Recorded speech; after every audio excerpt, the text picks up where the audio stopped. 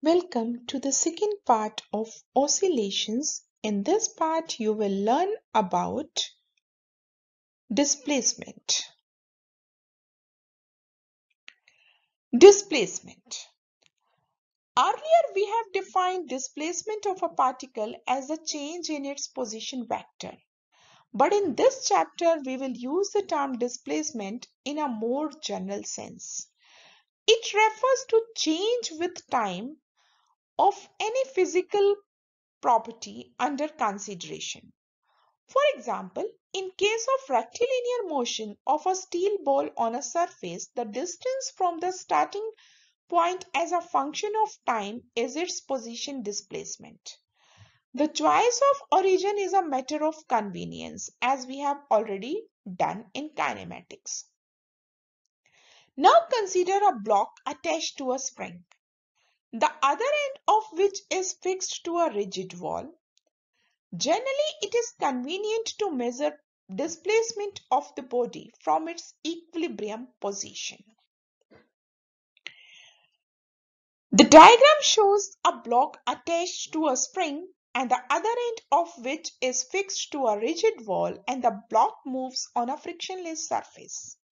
The motion of the block can be described in terms of its distance or displacement x from the wall. And in the second diagram, you can see that motion of an oscillating simple pendulum is described in terms of angular displacement theta with the vertical.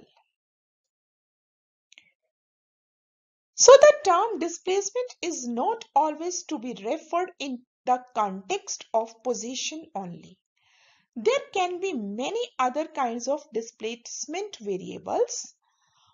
For example, the voltage across a capacitor is changing with time in an AC circuit is also a displacement variable. In the same way, pressure variations in time in the propagation of sound wave, the changing electric and magnetic fields in a light wave are example of displacement in different contexts. The displacement variable may take both positive as well as negative values. And in experiments on oscillations, the displacement is measured for different times. Mathematically, the displacement can be represented as a function of time. In case of periodic motion, this function is periodic in time. And the simplest periodic function is A sine omega t. Ft equals to A sine omega t. Ft is equals to A cos omega t. And as Cosine function repeats after 2 pi, so it can be written as cos theta is equals to cos omega t plus 2 pi means cos omega t equals to cos of omega t plus 2 pi. It keep on repeating after 2 pi. Let time period is denoted by capital T. So f function will be equals to f of small t plus capital T, where displacement keeps on repeating after t plus capital T means a cos omega t is equals to cos omega into t plus t. That means a cos omega t plus omega capital T. Or you can say from the first equation and second, omega t is equals to 2 pi means t is equals to 2 pi by omega. The function f is then periodic and its period t is given by t is equals to 2 pi by omega.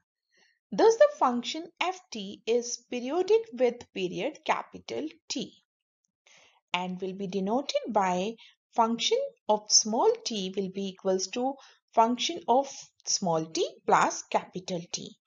The same result is obviously correct if we consider a sine function means a function equals to a sine omega t and also for a linear combination of sine and cosine functions like a sine omega t plus b cos omega t with the same period capital T. Displacement as a combination of sine and cosine functions. Let A denotes d cos phi and B denotes d sin phi.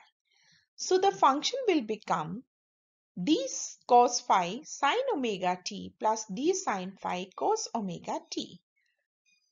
By taking d common and using sine A cos B plus sine A sine B cos A equals to sine A plus B, you can write the function f t will be d sine omega t plus phi. d in terms of a and b.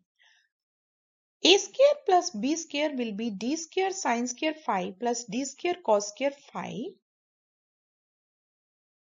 means a square plus b square will be equals to d square or d is equals to a square plus b square under the root. Now phi in terms of a and b on dividing equation 2 by 1, you will get b by a equals to d sine phi divided by d cos phi. And the d will be cancelled out and tangent phi will be equals to b by a. Or you can say that phi is equals to tangent inverse b by a. So you can calculate d and the phase angle phi by using these equations. So any periodic function can be expressed as a superposition of sine and cosine functions of different time periods with suitable coefficients.